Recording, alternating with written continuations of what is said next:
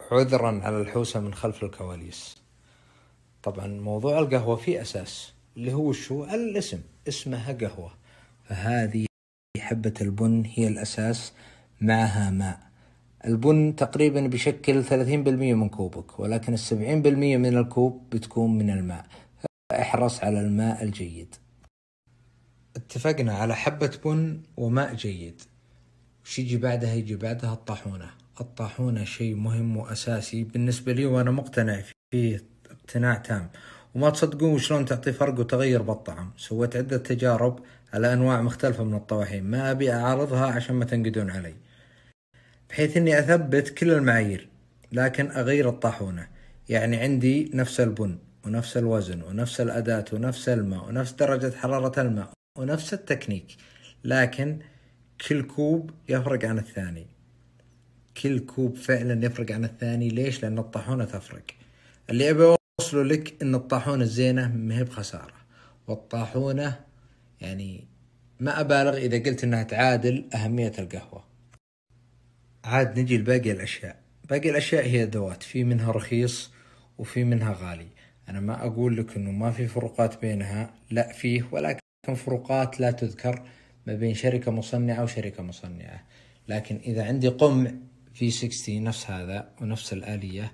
يعني الفرق بين هذا هذا رخيص والغالي يعني ترى لا يذكر يمكن ما حد يميزه.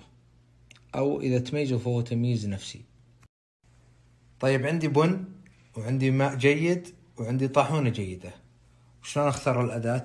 الأداة أختر ما يرتاح له بالك.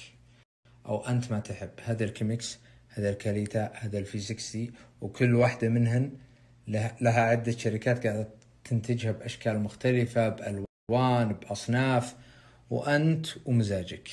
هذه الأشهر طبعا في باقي أدوات ثانية. طبعا كل واحدة بينها وبين الثانية فرق. ولكن الأشهر اللي أنا أشوفه ال V60 بعدين ال Kalita بعدين آه بعدين ال Chemex عفوا بعدين ال Kalita. الفروقات بينها فروقات يعني في فرق ولكنه مو بكبير وعالي. الأشهر منها ال V60 آه في كل المقاهي تقريبا وكل مستخدمين القهوة تركيزهم الأغلب على ال V60 طيب نجي للموضوع التحضير. وش رايكم نحضر سوا؟ خطوة بخطوة. تقريبا يعني ال V60 ال Kalita ال Chemex كلها نفس التكنيك الاختلاف اللهم في درجات الطحن ومستويات الطحن. بس. طيب شوفوا معي. حطيت 20 جرام. أبى أستخدم معادلة كل جرام قهوة يقابله 15 ملي من الماء. أو 16 على نوع القهوة هذه. أو 14 إذا طبعا أنت اللي تبي ذوقك. ذوقك تبي تثقل القهوة تبي تخففها اللي تبي. كل جرام قهوة كم يعادلوا ماء؟ المتوسط 15 تبي تخففها أو لاحظت فيها شيء غير مستساغ خففها مثلا. تقول واحد على 16 واحد على 17 واحد على 14 تبي تثقلها وهكذا. إذا قلنا واحد على 16 عشرين في ستة عشر بيساوي كم؟ ثلاثمية وعشرين ملي يعني أنا بستخلص ثلاثمية وعشرين ملي أول شي خلونا نطحن. كثير سؤال يجيني عن هالبخاخ وسالفته هذا عبارة عن ماء. ما يصلح مع كل الطواحين لكن يصلح مع الطواحين ال single dose مثل هذه.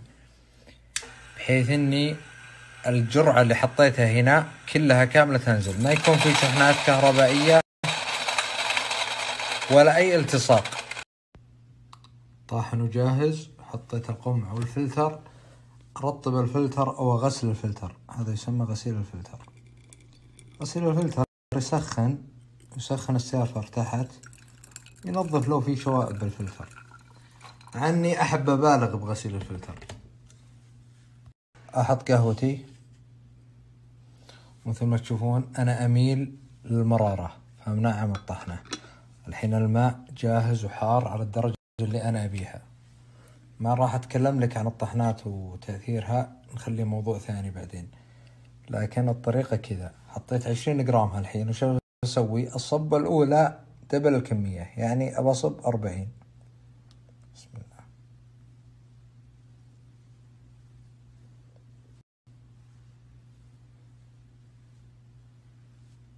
عدينا شوي.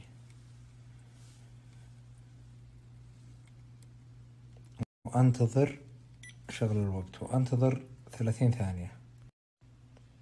شوف الوقت معي. الحين ثلاثين ثانية. أبصب وأوصل إلى مية وعشرين. الصبات من الضروري أنك تقسمها إلى أربع صبات. الصبة الأولى إيش تبي تكون؟ تبي تكون دبل الكمية. يعني حطيت عشرين تصب أربعين حطيت ثلاثين تصب ستين وهكذا. باقي الصبات تقسمها إلى أربع صبات. كم الصب إلى ميتين. شوف الوقت خلك خل عينك على الوقت.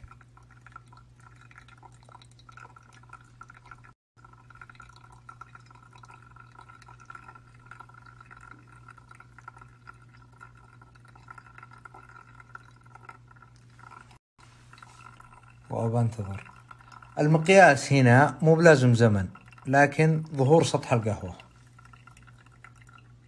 ظهر السطح الحين أكمل صب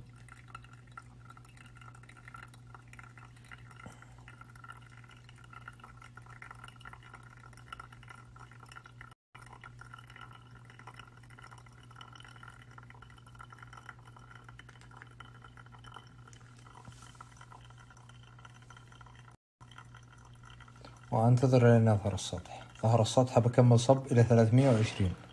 بكمل صب إلى ثلاثمية وعشرين الحين. عذرا. قطعت السنابات. ما أدري وش صار.